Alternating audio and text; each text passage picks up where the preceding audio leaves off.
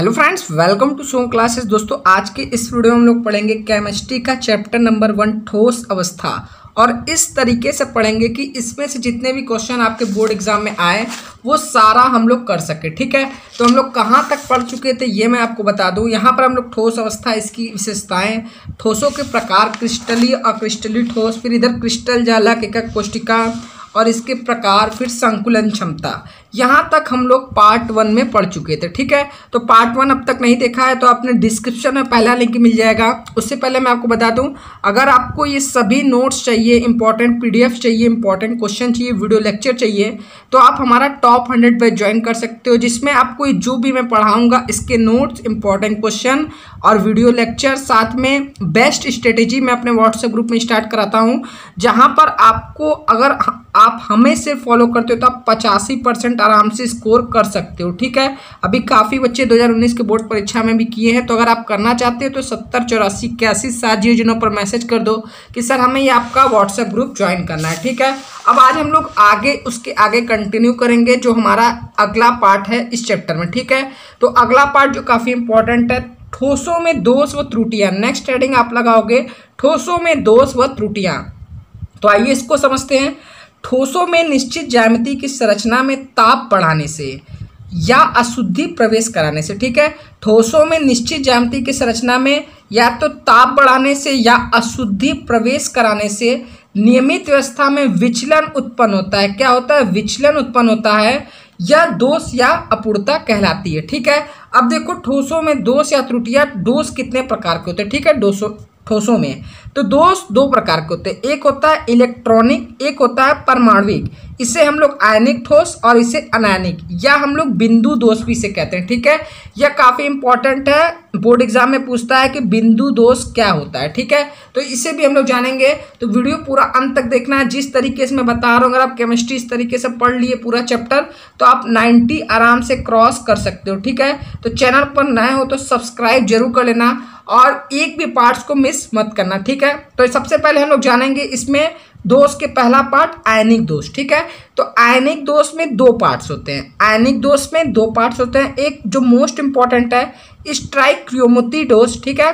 और सेकंड है non स्ट्राइकोमेथी dose ठीक है? और इसके भी दो पार्ट्स हैं। पहला है फ्रैंकल दोष और दूसरा है साटकी दोष। ये एकदम जिसे हम लोग कहते हैं, जैसे कि V V I P question ठीक है? हम लोग कहते हैं ना कि वेरी वेरी इंपॉर्टेंट क्वेश्चन तो ये आपके लिए वेरी वेरी इंपॉर्टेंट क्वेश्चन है। फ्रैंकल दोष और साटकी दोष ठीक है? आयनिक दोष के दो पार्ट्स स्ट्राइक मोती डोस और नॉन स्ट्राइक क्रियोमोटी डोस ठीक है? फिर इसके स्ट्राइक क्रियोमोती दोष के दो पार्ट्स होते हैं। एक फ्रैंकल दोष, एक साटकी दोष, जो मोस्ट इंपॉर्टेंट है, और नॉन स्ट्राइक क्रियोमोती दोष में भी दो पार्ट्स होते हैं, धनायनिक तथा ऋणायनिक, ठीक है? ये वाला इतना नहीं पूछता है, लेकिन यह हर साल पूछता है। तो इसको जब अभी मैं आज की इस वीडियो में इसको भी बताऊँगा तो वीडियो पूरा अंत तक देखना। तो सबसे पहले हम लोग बात कर लेते हैं, क्रिस्टल जालक में मुख्यतः दो प्रकार के दोष पाए जाते हैं। तो सबसे पहले हम इन दोनों दोषों को देख लेते हैं। फिर इनके पार्ट्स को देखते हैं, ठीक है? तो क्रिस्टल जालक में मुख्यतः दो प्रकार के दोष पाए जाते हैं इलेक्ट्रॉनिक या परमाणविक डोज ठीक है? अगर आप हमारा व्हाट्सएप ग्रुप ज्वाइन करते हो, जो मैंने बताया टॉप हंड्रेड बेस्ट तो जो मैं ये पढ़ाता हूँ, उसका शाम को इसका नोट्स आपको पीडीएफ के रूप में मिल जाएगा, ठीक है? क्योंकि पीडीएफ आपके लिए काफ़ी इंपॉर्टेंट है। आप जब भी आपका मन करे तो आप व्हाट्सएप पे खोलकर देख सकते हो, ठीक है? तो इलेक्ट्रॉनिक और परमाणविक दोष तो सबसे पहला जो इसमें अंतर है इलेक्ट्रॉनिक दोष में इसमें ताप बढ़ाने से इलेक्ट्रॉन निम्न ऊर्जा से उच्च ऊर्जा में प्रवेश कर जाते हैं। इसमें क्या होता है? इसमें जब हम लोग ताप बढ़ाते हैं तो इलेक्ट्रॉन जो होता है, वो निम्न ऊर्जा से उच्च ऊर्जा में प्रवेश कर जाते हैं। जबकि परमाणविक दोष में इसमें अव्यय कणों की नियमित व्यवस्था में विचलन या अनियमितता आ जाती है। ठीक है? पहला पहला ये डिफरेंस इसमें है। सेकंड है इलेक्ट्रॉनिक दोष में सिलिकॉन में ताप बढ़ाने पर इलेक्ट्रॉन की गति बढ़ जाती है, जिससे मुक्त इलेक्ट्रॉन के कारण धारा का प्रवाह हो जाता है। जबकि परमाणिक दोष में, इस दोष में अव्यय कण स्थान छोड़ देता है या अंतर अवकाश में प्रवेश कर जाता है, ठीक है? अंतर अवकाश क्या होता है ये मैं आगे बताऊँगा। फिर अब जो आपको मोस्ट हेडिंग लगाना है, ये लगाना है आयनिक यौगिकों में दोष या त्रुटियों को दो भागों में विभेदित किया जाता है। यहाँ पर मैंने आपको बताया, आयनिक जो यौगिकों में दोष या त्रुटियों को दो भागों में विविध मतलब इसके दो पार्ट्स होते हैं। स्ट्राइक क्रियोमिति दोष और नॉन स्ट्राइक क्रियोमिति दोष, ठीक है? तो सबसे पहले दो हेडिंग यहाँ पे लगा दोगे। अगर आप नोट्स अपना बना रहे हो, ठीक है? तो यहाँ पर जो सबसे पहला मोस्ट इंपॉर्टेंट है स्ट्राइक क्रियोमोती दोष, ठीक है? यह बोर्ड एग्ज़ाम में अलग से भी एक दो नंबर में पूछ लेता है, ठीक है? और जो वेरी वेरी इंपॉर्टेंट मैंने बताया साठ की दोष और फ्रेंकल दोष, यह तीन नंबर में ही पूछता है, ठीक है? तो सबसे पहले ये दोष जानते हैं, जब आयनिक यौगिकों में धनायन व ऋणानों का अनुपात उनके मूलानुपाती सूत्र के अनुसार होता है, जब आयनिक यौगिकों में धनायन व ऋणायनों का अनुपात उनके मूलानुपाती सूत्र के अनुसार होता है, उसे हम स्ट्राइक क्रियोमिति दोष कहते हैं। क्लियर है? अब जो मैंने आपको बताया कि स्ट्राइक क्रियोमिति दोष के भी दो पार्ट्स होते हैं। फ्रैंकल दोष व साटकी दोष, जो बड़ी इंपॉर्टेंट है। तो यहाँ पर आप हेडिंग लगाओगे, इसमें अंतर पूछता है, ठीक है? साटकी दोष और फ्रैंकल दोष में अंतर बताइए, तीन नंबर में बोर्ड एग्ज़ाम में पूछ लेगा। और उसके एग्ज़ाम्पल पे एक नंबर रहता है, ठीक है? तो एग्ज़ाम्पल आपको याद करना बहुत ज़रूरी होता है। तो जो सबसे पहला इसमें अंतर होता है, इसमें होता है साटकी दोष में, इसमें धनायनों एवं ऋणानों का आकार लगभग समान होता है, ठीक है? इसमें धनायनों एवं ऋणानों का जो आकार होता है लगभग समान होता है, जबकि इसमें धनायनों का आकार छोटा एवं ऋणानों का आकार बड़ा होता है। पहला पॉइंट क्लियर है।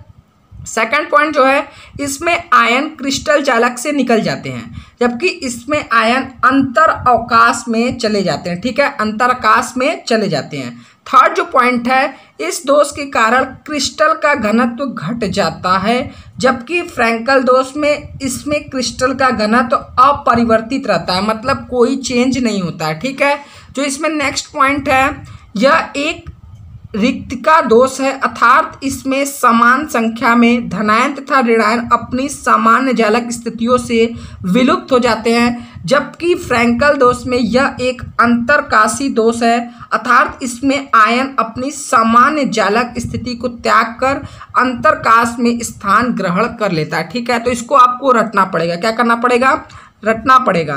आप इसको रट ज़रूर लेना। ये आपके लिए मैं बता रहा हूँ, काफ़ी इंपॉर्टेंट क्वेश्चन है इस चैप्टर के लिए, ठीक है? फिर यहाँ पर एग्ज़ाम्पल साठ की दोस्त का N S C L K C L C S C L आदि, ठीक है? जबकि आपका फ्रेंकल दोस्त में एग्ज़ाम्पल आप लिख दोगे A G C L Z N S A G B R आदि। अब जो सबसे मोस्ट इंपॉर्टेंट पॉइंट है, यहाँ पर आप नोट करके लिखना देखो, इसी तरीके से मैं नोट्स आपके लिए बनवा रहा हूँ ताकि आप अगर ये नोट्स तैयार कर लो तो आप नब्बे परसेंट आराम से स्कोर कर लो, ठीक है? तो इसलिए मैं यहाँ पे नोट करके आपको लिखवा रहा हूँ कि ए जी बी आर में फ्रैंकल व साठ की दोनों त्रुटियाँ पाई जाती हैं। तो एक नंबर पे यहाँ पे क्वेश्चन उठ जाता है बहुत बार कि ऐसा वो ए में फ्रैंकल व साठ की दोष दोनों त्रुटियाँ पाई जाती है।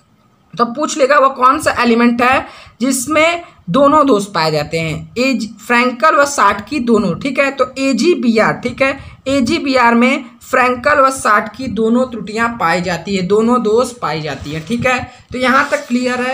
अब जो नेक्स्ट आप हेडिंग लगाओगे यहाँ पे, ये देखो, यहाँ तक ये आयनिक दोष के एक पार्ट दो पार्ट थे स्ट्राइक स्टाइक्यूमोती दोष और नॉन स्ट्राइक स्टाइक्यूमोती दोष, ठीक है? तो इसमें जो पहला पॉइंट था, फ्रैंकल व साठ की दोष, ये क्लियर हो गया। अब हम लोग आते हैं नॉन स्टाइक्यूमिटी दोष पे, ठीक है? तो यह क्या होता है? यहाँ पर हेडिंग लगाओगे नॉन स्ट्राइक स्टाइक्यूमिटी दोष। जब धनायन व ऋणानों की संख्याएँ मूलानुपाती सूत्र के समान नहीं होती है, जबकि स्ट्राइकमुति दोष में धनायन व ऋणान की संख्या मूलानुपाती सूत्र के समान होती है, ठीक है? और इसमें समान नहीं होती है तो उसे हम नॉन स्ट्राइक्रियोमिति दोष कहते हैं। यह दोष भी दो प्रकार का होता है, धनायनिक तथा ऋणानिक धनायनिक के दो पार्ट्स होते हैं, इसमें ऋणायन का निष्कासन, धनायन का प्रवेश, जबकि ऋणायनिक में जस्ट उल्टा ऋणायन का प्रवेश और धनायन का निष्कासन, ठीक है? तो अब जो सबसे इंपॉर्टेंट टॉपिक आपके सामने आता है, ठोसों के गुण, ठीक है? यह आपके लिए काफ़ी इंपॉर्टेंट है तो नेक्स्ट हेडिंग आप लगाओगे, ठोसों के गुण, ठीक है? अगर वीडियो पसंद है तो लाइक ज़रूर कर देना। ठोसों में विद्युतीय व चुंबकीय दो प्रकार के गुण पाए जाते हैं। ठोसों में कितने प्रकार के दो गुण पाए जाते हैं? दो प्रकार के। पहला होता है विद्युतीय दूसरा होता है चुंबकीय। दो प्रकार के गुण पाए जाते हैं। तो सबसे पहले हम लोग कौन सा देखेंगे? इसमें सबसे पहले हम लोग देखेंगे विद्युतीय गुण, ठीक है?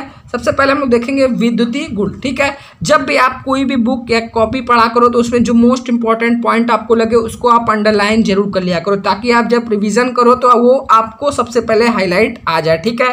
तो सबसे पहले ठोसों के गुण। में सबसे पहला पॉइंट विद्युतीय गुण, ठीक है?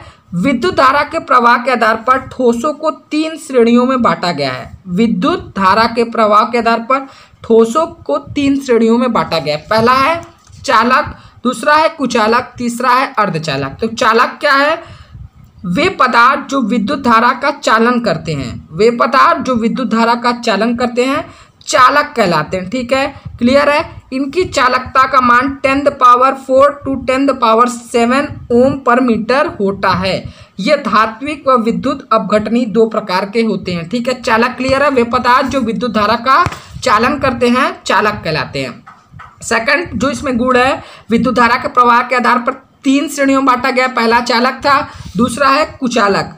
वे पदार्थ जो विद्युत धारा का प्रवाह नहीं होने देते हैं। वह पदार्थ, वे पदार्थ जो विद्युत धारा का प्रवाह नहीं होने देते हैं कुचालक कहलाते हैं। इनकी चालकता का मान ten the power minus twenty to ten the power minus ten ohm पर मीटर होता है। फॉर एग्ज़ाम्पल अगर इसका लिखना आएगा तो आप लिख दोगे रबड़, प्लास्टिक, लकड़ी और फॉस्फोरस ठीक है? फॉस्फोरस भी होता है। तो इसमें आप चौथा पॉइंट ऐड करें ना फॉस्फोरस ये कुचालक हो गया। वे पदार्थ जो विद्युत धारा का प्रवाह नहीं होने देते हैं, ठीक है? अब जो इसमें थर्ड पॉइंट होता है, विद्युत धारा के प्रवाह के आधार पर ठोसों को तीन श्रेणियों में बांटा गया। तो पहला था चालक, दूसरा था कुचालक, तीसरा है अर्धचालक। तो अर्धचालक हेडिंग लगाओगे, वे ठोस जिनकी चालकता चालकों एवं कुचालकों के मध्य की होती है। देखो, बहुत इंपॉर्टेंट पॉइंट है, वे ठोस जिनकी चालकता, चालकों एवं कुचालकों के मध्य की होती है मतलब बीच की होती है, अर्धचालक कहलाते हैं। इनकी चालकता की परास टेन पावर माइनस सिक्स से ten power four ohm per metre होती है। अब अर्धचालक भी दो प्रकार के होते हैं, जिसमें नैज अर्धचालक और अशुद्ध अर्धचालक। इसमें जो अशुद्ध अर्धचालक है, इसमें एन प्रकार और पी प्रकार के होते हैं। यह आपके लिए काफ़ी इंपॉर्टेंट है, ठीक है? यहाँ पर आता है, एक जो मैंने साठ की दोष बताया और एक बताया फ्रैंकल दोष फिर एन प्रकार, पी प्रकार के चालक पूछता है। फिर इसमें जो मैं नेक्स्ट पॉइंट पढ़ाऊँगा, ठोसों के चुंबकीय गुण और ठोसों ठोसों के, अभी मैंने आपको बताया विद्युतीय गुण, ठीक है? ये तीन पार्ट, जिसमें चालक, कुचालक, अर्धचालक थे। नेक्स्ट हेडिंग में आपको बताऊँगा, ठोसों के चुंबकीय गुण, ठोसों में निबिड द्युमी और सतकोड़ी निबिट संकुलन। डायरेक्ट इसमें से पाँच नंबर से पूछ लेता है कभी कभी सतकोड़ी निबिट संकुलन से आप क्या समझते हैं? तो मतलब जो next point next video lecture आएगा, वो आपके लिए काफ़ी इंपॉर्टेंट रहेगा, ठीक है? ये टोटल मैंने आपको जो सात आठ पन्ना था इसका नोट्स जो भी बच्चे टॉप हंड्रेड में ज्वाइन करेंगे, उनको मैं डेली डेली जितना पढ़ाऊँगा सभी सब्जेक्ट का, उनका, उनको लेक्चर मिलता चलेगा, ठीक है? और मैं हर संडे जुलाई से पहले वीक से टेस्ट भी शुरू करने वाला हूँ अपने बैच के लिए। तो जो भी बच्चा अभी जुड़ना चाहता है, पाँच सौ रुपये साल भर की फ़ीस है, सत्तर, चौरासी, इक्यासी सात योजनाओं पर मैसेज कर सकता है, ठीक है? अगर ये वीडियो पसंद है तो लाइक करें। अगर आप खुद से नोट्स बना रहे हैं तो अच्छे से जैसे मैं बनाया हूँ, वैसे ही लिखो। अगर आप मेरा नोट्स सिर्फ़ एक बार पढ़ लोगे तो आपको काफ़ी चीज़ें क्लियर हो जाएँगे। तो इस वीडियो को अधिक से अधिक शेयर करना और नेक्स्ट पार्ट कल आएगा तो चैनल को सब्सक्राइब ज़रूर कर लेना। और वीडियो पसंद आया तो लाइक और शेयर ज़रूर कर देना। आज के लिए इतना ही, मिलते हैं नेक्स्ट वीडियो में। तब तक के लिए जय हिंद।